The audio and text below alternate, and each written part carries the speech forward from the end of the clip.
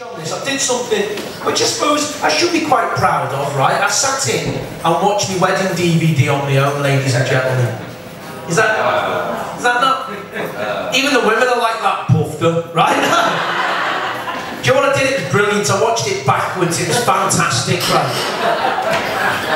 I took the ring off her fingers. She took the ring off mine. The priest stood back. You can clearly hear me say, "Do I?" with adapt.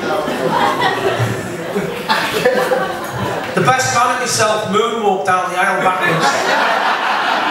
Got in the car and pissed off, which was fantastic. Ladies and gentlemen.